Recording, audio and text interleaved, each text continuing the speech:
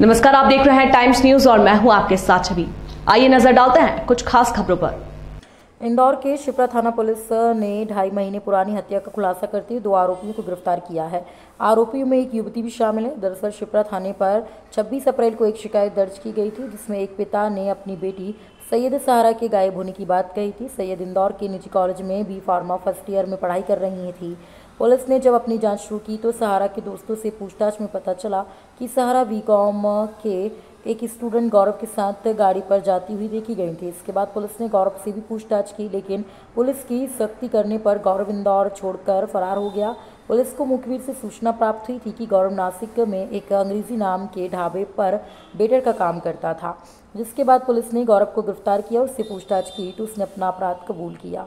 Police पूछताछ में गौरव ने बताया कि गौरव और सहारा एक दूसरे से कॉलेज में एक ही क्लास में पढ़ते थे और एक दूसरे को पसंद भी करते थे। लेकिन सहारा की अन्य लड़कों से बातचीत होती थी जो गौरव को पसंद नहीं थी। गौरव सहारा के साथ रहते हुए भी स्निंदा काम नाम की एक अन्य स्टूडेंट से भी रिलेशनशिप में था। सहारा के साथ लगातार हो रहे विवाद के बाद गौरव ने अपनी दोस्त स्निंदा के साथ मिलकर उसे मारने की योजना बनाई।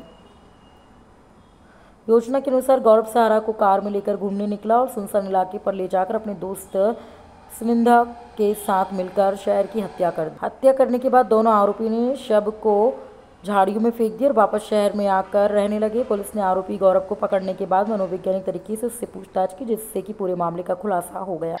गुमशुदा की हत्या का मामला सामने आया इसमें क्या करेंगे एक बहुत ही गंभीर मैटर सामने आया है। गुमशुदगी शिप्रा थाने में दर्ज थी छब्बीस अप्रैल से। और वो लड़की 25 अप्रैल को एक गौरव नाम के व्यक्ति से, के साथ गई थी।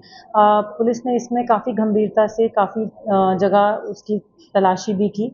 मुंबई, नासिक, गोवा सब जगह पुलिस उसको ढूंढती रही और गौरव से भी लगातार पूछताछ करती रही, परंतु लगातार गुमराह करता रहा गौरव और इसको अब दोबारा नासिक से पुलिस जब लेकर आई, ये वहाँ पे वेटर का काम कर रहा था, सब इसके फ़ोन नंबर्स वगैरह भी सब स्विच ऑफ़ थे। काफ़ी इसमें मेहनत करके पुलिस उसको नासिक से लेकर आई और जब बहुत ही अच्छे तरीके से इससे पूछताछ की तो ये सामने आया कि उसने इस अपनी एक फ्रेंड के साथ मिलके सारा की हत्या कर दी थी और उसको जंगलों में फेंक दिया था।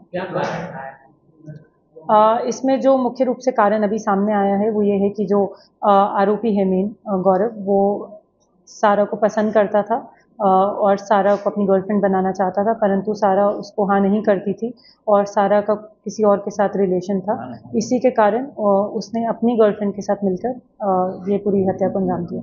टाइम न्यूज़ देखिए अब आपके मोबाइल और स्मार्ट टीवी पर। लाइव प्ले स्टोर से डाउनलोड करें। Time smart TV app